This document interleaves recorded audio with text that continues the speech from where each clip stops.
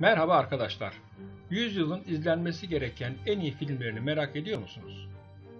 BBC, farklı ülkelerden 177 sinema eleştirmenin görüşlerine başvurarak 21. yüzyılın en iyi 100 filmini belirledi.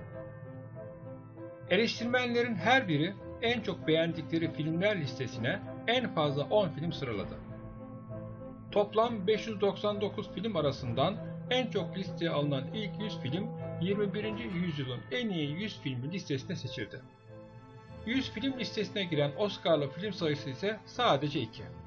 İhtiyarlara yer yok listede 10. sırada yer alırken 12 yıllık Esaret 44. sırada yer bulabildi.